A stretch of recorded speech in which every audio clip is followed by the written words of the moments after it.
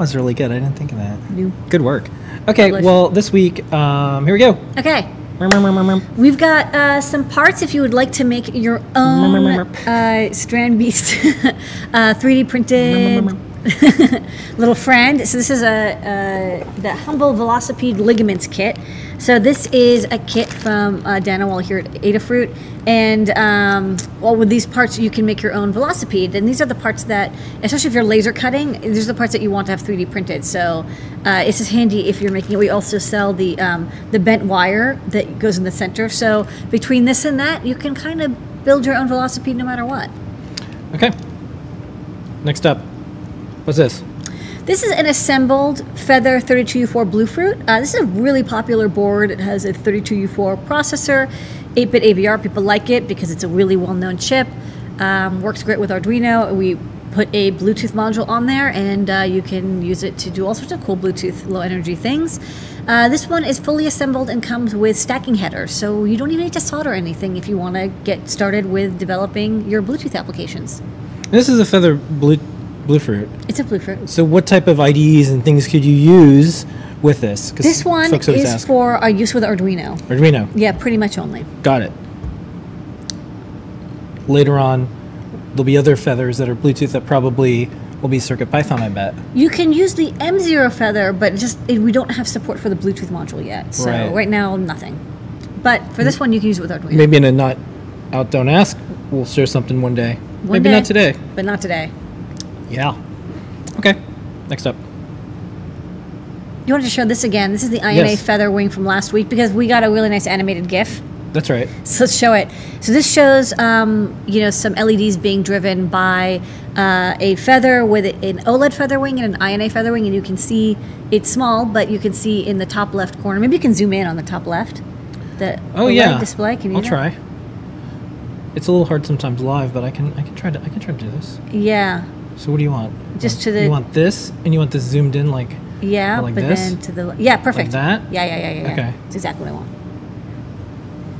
Okay, so you can see the voltage and current is being calculated and displayed dynamically. So this can be really helpful when you're power monitoring something or you have a project and you want to like know how much current and voltage is happening over there on the LEDs or whatever it is that you're controlling. It can do up to 26 volts, positive or negative, and up to about 3 amps. So handy. yeah. You want to show off this cool GIF. Okay. Nice GIF action. All right. Next up. We have kind of a new product. It's the Max 31865 RTD. This is a platinum RTD sensor amplifier. We've had this before for the PT100, the 100 ohm platinum sensors, and now we have this for PT1000. It has a different reference resistor, so it's much better for use with PT1000 sensors. And I can show it on the overhead because this is, it's worth going over these again. That's so my stage name, PT1000. PT1000. Yeah. Um, so this is the sensor, and you can use it with you know your favorite microcontroller, and it has terminal blocks. You can use it with two, three, or four wire RTDs, and um, this is an RTD that uh, we have in the store. For example, this one is at PT100. You can tell because it says PT100, but you can purchase ones that are uh, 1,000 ohms, and so. Uh, honestly, you'd probably want to use that with this, not uh, the 100 that I grabbed out of the bin. But it looks the same, and it has a piece of platinum that's been laser trimmed in this metal casing, and it's just really, really high precision. So if you're doing any like scientific experimentation, especially, or if you need to get like very, very high accuracy and very, very high reliability temperature sensors, you'll pay more for an RTD compared to you know a DS18B20, but it's like what you use. Like it's like the the best temperature reference you can get uh, that we know of uh, on planet Earth is a PT uh, type sensor. So now, if you have a PT1000, grab one of these, and it's super easy. We have a library that'll get you started. Okay. All right. Next up, the star of the show tonight, besides you, is uh, Adabot and all the uh, characters. No, it's a there's a screen. This is a feather wing. It's a 3.5 inch TFT feather wing. So if you have feather boards and you want a really big display, this is a really big display. It's 480 by 320 pixels, full color. Comes with a touch screen, and you just plug your feather in. It's fully assembled, so it's kind of nice. Got some mounting holes. Um, you can plug into the back. It's got an SD card slot, an on-off switch, uh, reset button. So it's very easy to make a little touch screen interface. Um, so go to the overhead. I can show off. So this is um, the basically the demo that we photographed. So you see here, I've got a, Teensy 3.2 feather wing. So this is actually a Teensy 3.2 that is a, is an our feather adapter. Because this is a really big display, I do recommend people go with the bigger chips. Um, you can drive it from a 32 U4, but I don't recommend it. You really want something that's running at least 48 megahertz. So the M0s, the E ESP8266, the E ESP32 is super fast. The Teensy is very very fast. Um, and you know it has this nice touch screen so you can you can draw your favorite messages. Uh, then the touchscreen controller is over spi so you only need like five pins to do everything um, with this uh, display. You get plenty of pins left over.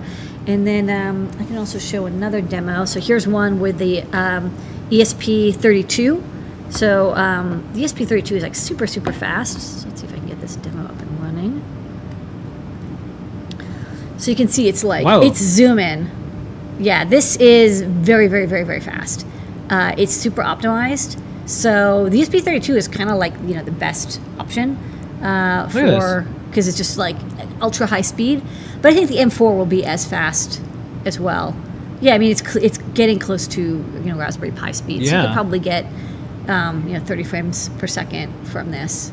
So I thought like you know this would be good for um, you know very high res interfaces. You know you wanted to maybe have a like a, a touch control, and the ESP32 runs um, Python, so you could write this in Python if you wanted to. Yeah. MicroPython. You could. yeah.